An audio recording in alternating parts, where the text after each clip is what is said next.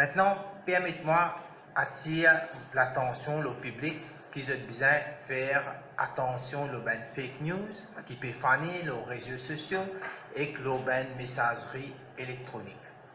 Seule information qui est crédible, c'est l'information ici avec le National Communication Committee, le High Level Committee et aussi ben, euh, conférence de presse, l'AMBC, ben, médias qui viennent capable de nous donner ben, information qui est.